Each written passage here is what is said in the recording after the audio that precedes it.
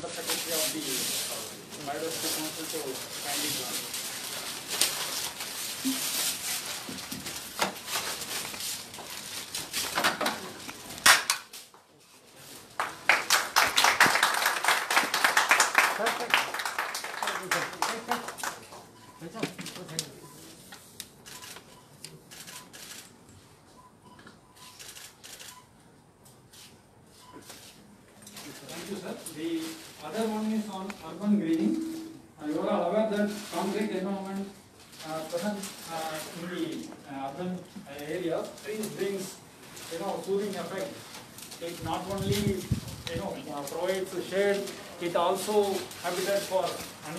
And it also helps in reducing the air and other things.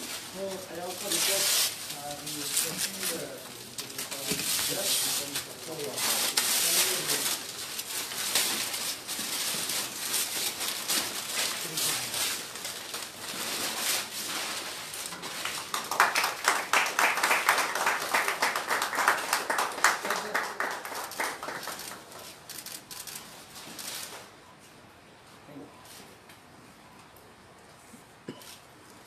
In this brochure, it also provides the tree species suitable for subtropical and uh, temperate regions of uh, UT of uh, J&K.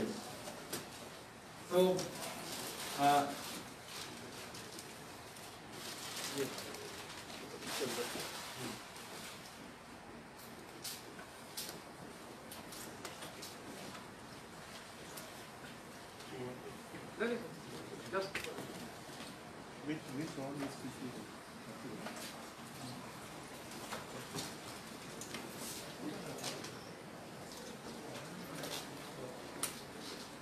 now I will request our uh, chief guest, Dr. Arun Kumar Mehta, chief secretary uh, for his inaugural.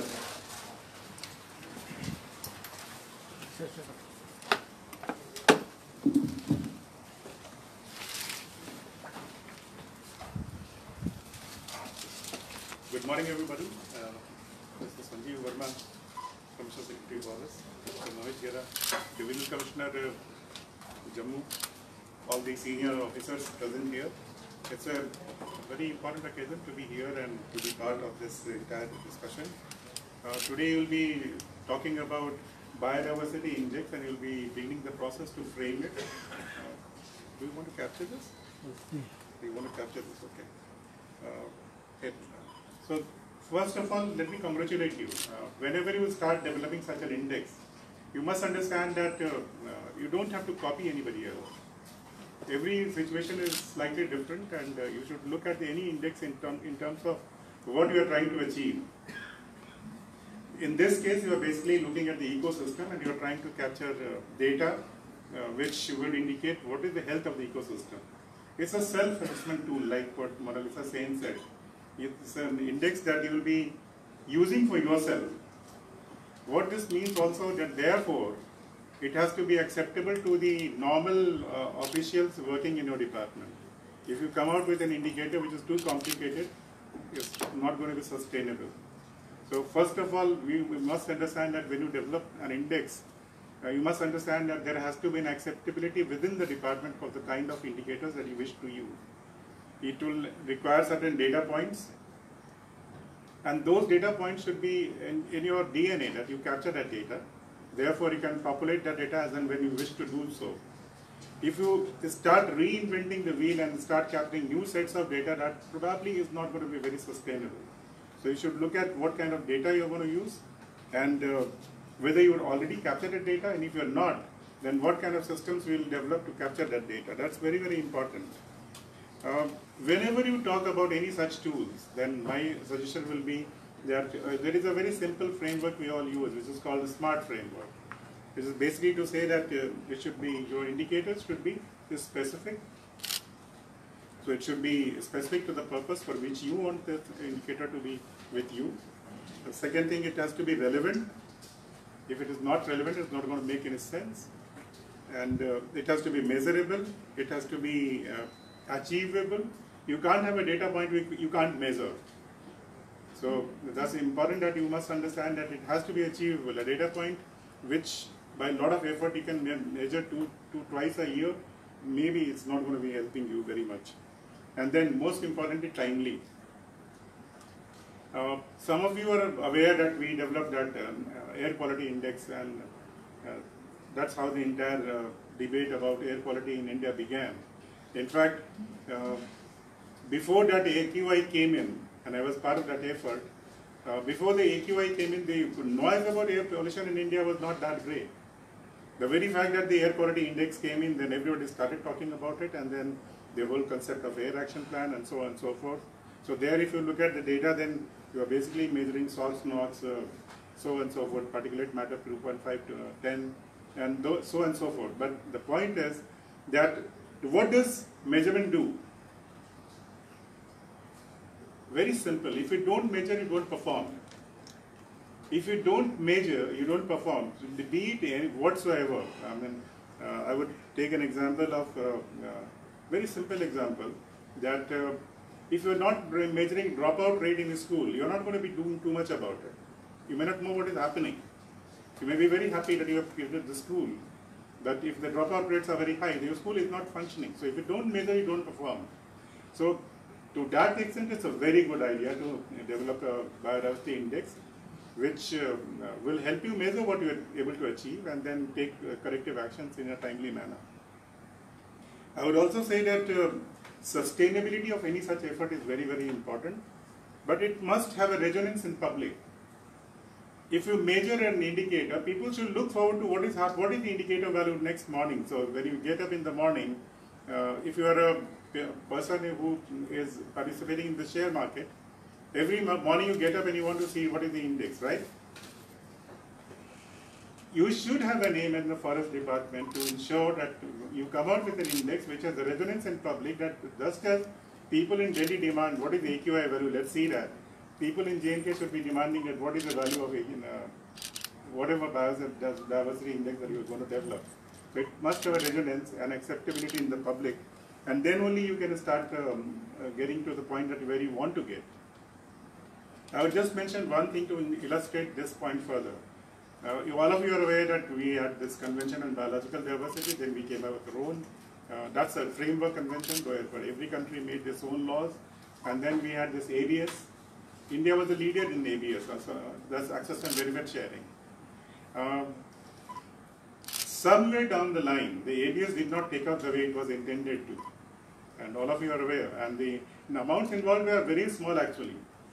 But there was a huge resistance from the uh, companies. Uh, and that, that, did not allow that to go further in the manner it was, it was intended.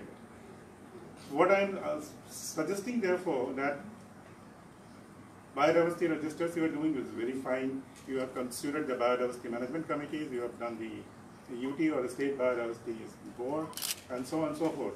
The important point is take the stakeholders along. So if you are developing an index, it's important to take the, the stakeholders along. That's, that's very, very important. If you don't do that, no matter how good an index you develop, you're not, who are you developing it for? You're not developing it for yourself. You're developing it for the common people. Ultimately, they are the users. If only the user is going to be forest department, then it may not have the resonance. So it has to be an indicator which is uh, acceptable, uh, which is something that everybody feels curious about, what's happening. Uh, when it comes to biodiversity, uh, let me say only thing, one thing, that biodiversity is about life. Uh, what is biodiversity? Biodiversity is nothing but diversity of life forms. And we are one of the life forms. So in, in, in essence, biodiversity uh, is only saying that whether you are having a healthy ecosystem or not. As very simple as that. If your um, city and your biodiversity index is not looking good, your city is probably not sustaining life the way it should. And if the city is not sustaining life the way it should, then there is something wrong with the city. And you need to address that. If you look at this framework, then probably you will get a uh, biodiversity index which will people will feel very curious about and want to do something about it. Uh, so this is uh, so far as the index is concerned. I wish you great luck. You don't have to. You have to learn from others. So if Singapore has developed it, or, some other cities have developed it, learn from them, but do adapt it to your situation. Uh, uh, without applic application of uh, new uh, thought, you may develop a very good index, very complicated, but may not sustain for any length of time. The fundamental litmus test of any such effort is that whether it will live beyond you, whoever started it. If an index is going to be there only as long as you are there, it doesn't make sense. Um, let me now few, tell a few things that I want you to uh, closely follow and uh, uh, all of you and uh, see that how you can contribute to this. Uh, first of all, uh, biodiversity or nature is not only responsibility of forest department. Be very clear about it. It's a collective effort of all of us, whether you are industry or you are a division commissioner or you are in forest department or you are in any department, social welfare department, all of them be, be, become a stakeholder. And it's important to involve all of them. I do not see that happening. Somehow the forest department and other departments work in silos. If- you're talking about biodiversity, it's not going to be um, happening because you're working in silos. You will have to converge. Convergence is very, very important. Few things. All the tourist spots, uh, the air quality index and the water quality index should be measured and should be published. That's the uh, goal number one. So just write it down what I'm going to say. Uh, just write it down. So you have uh, very important destinations, for example, Surinsar, Mansar, uh, Lake, uh, Dal, Srinagar, Pahalgam. If you look at Jammu, then you have uh, Mata Vaishno Devi and so on and so forth. And uh, I'm sure that Jammu will have Mantalai, Patnika, and many more.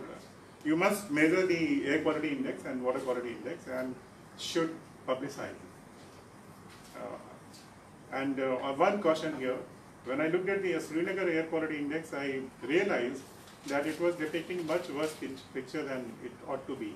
So be clear about what you're measuring, where you are measuring, and why are you measuring. Uh, it's, a, it's not just that only you measure only the hottest spot. Hottest spot will also always give you the results which are skewed. It's not the city average.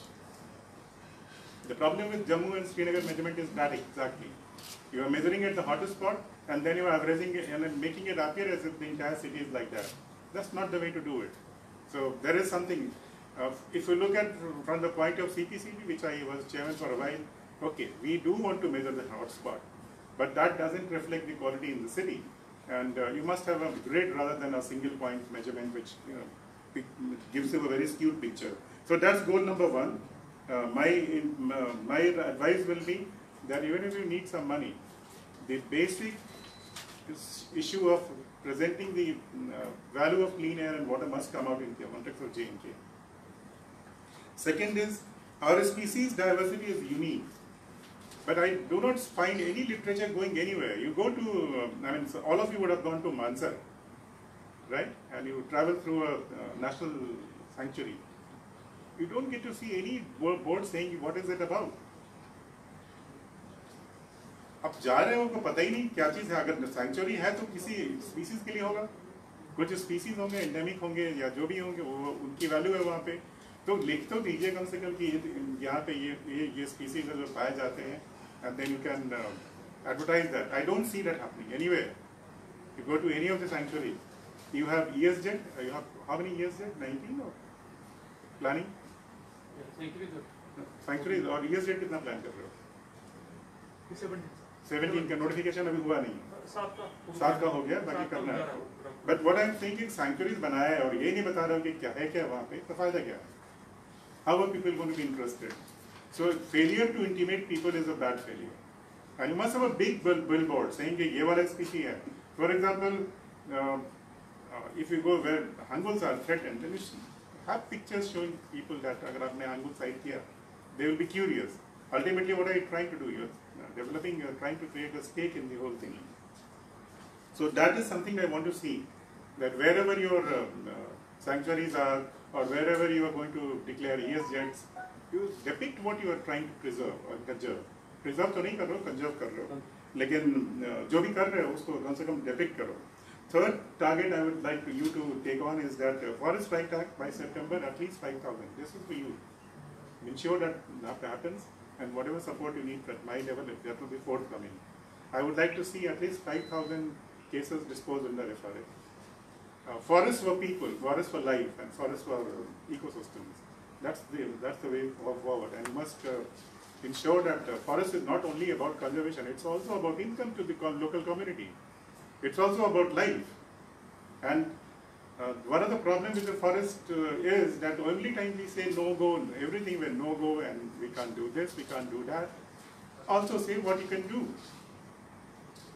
And that is important. The impression you get about forest, uh, uh, many many places, that everybody says what you cannot do, but nobody says what you can do about it. And that's one of the big, biggest challenge we are facing in terms of where we want to go. So forest and livelihood and local incomes of the local community very important. Have this as a thematic uh, thing for, for forest department. Treks in the uh, context of Azadi Ka Mahotsav, 75 treks you must develop with due uh, intimation about uh, what are the species available, what is that going to see.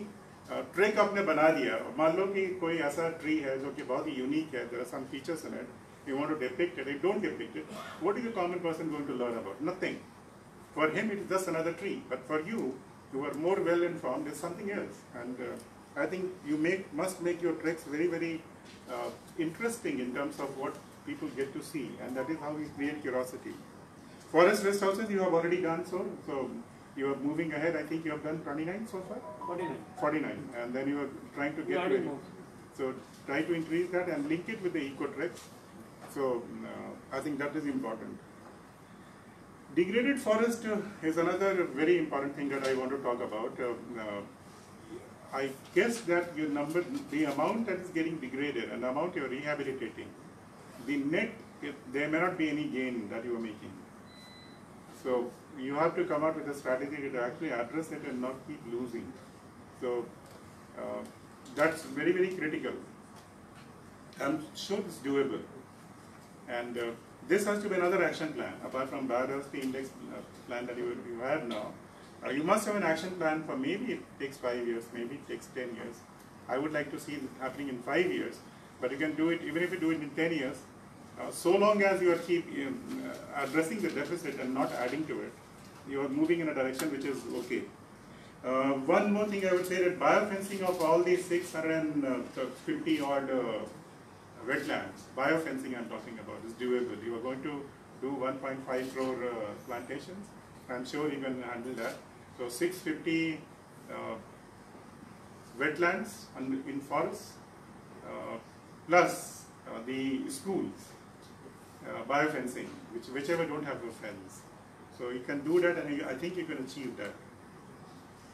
I would also say that uh, eco clubs was one of my uh, very important objectives in, in environment ministry that all the uh, schools should have eco club.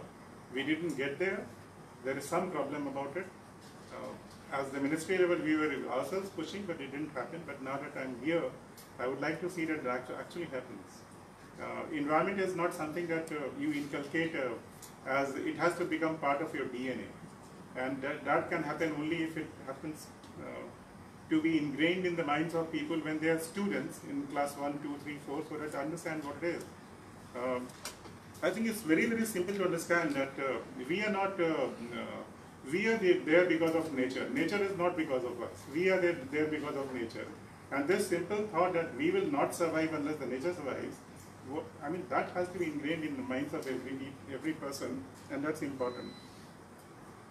Let me say one, one more thing, that whenever I look at departments, and one of the most underutilized department is forest department. And I have this very steep feeling that you have a very well set, I mean, well educated set of people. Is it the only thing that you should have been doing, I mean, uh, at the level at which you are? I think you can do much better. I think, you know, on a scale of 1 to 10, I would say that given your potential, because all of you are very well educated, you have uh, come from, many of you come from very competitive exams, are you getting your, getting your potential? My sense is no.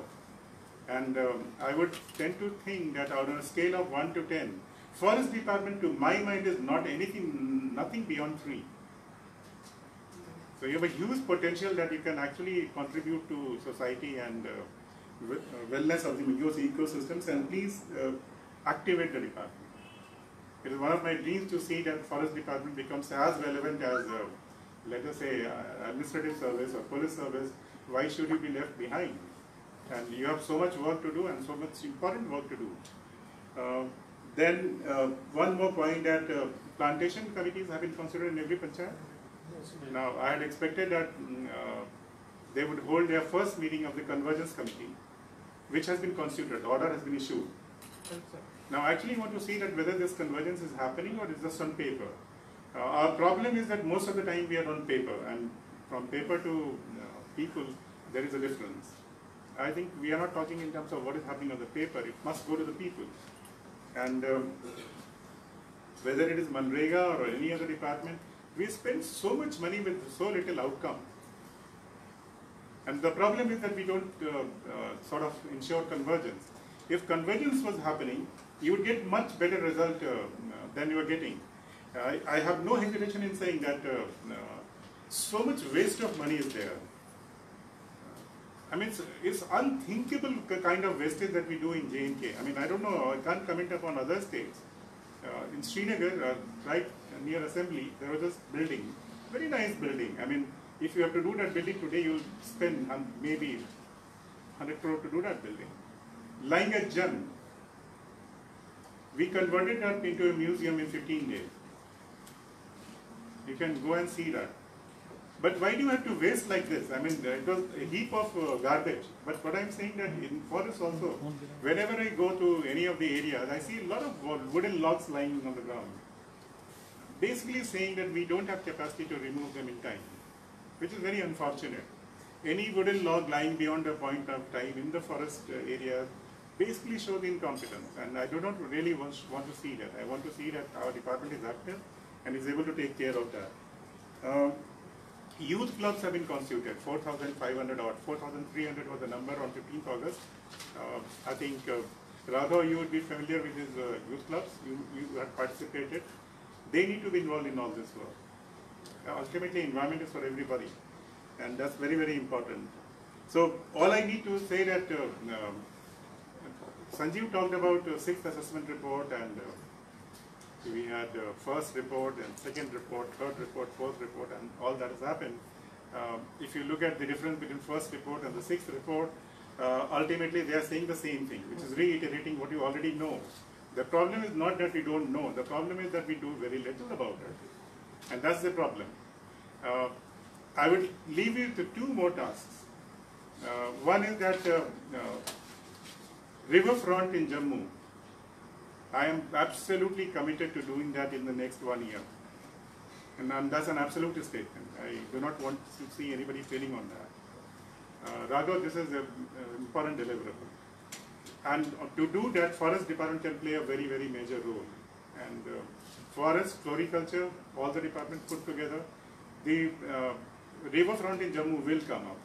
And it won't come up in the typical concrete uh, jungle type of style. It will come up uh, in a style that creates life. And I understand that since all of you are from forest department, you understand what I'm saying. So created that, and I was part of that also in the initial thought process. But uh, then they had a vertical concrete uh, wall, which they later realized that it didn't, they didn't have to be so. But uh, uh, what I'm trying to say that uh, you create a uh, river front with, with life, and both in Srinagar and Jammu, and I would like to see that happening in a short period of time. It's not very complicated. And uh, just to end my uh, whatever I have to say, uh, actually, uh, when I look at uh, uh, the entire uh, life uh, that we have today, it's a gift of nature to us, and it's our duty to re- ensure that we respect that gift to us. So thank you very much, and I'm sure will come up with expectations. Junction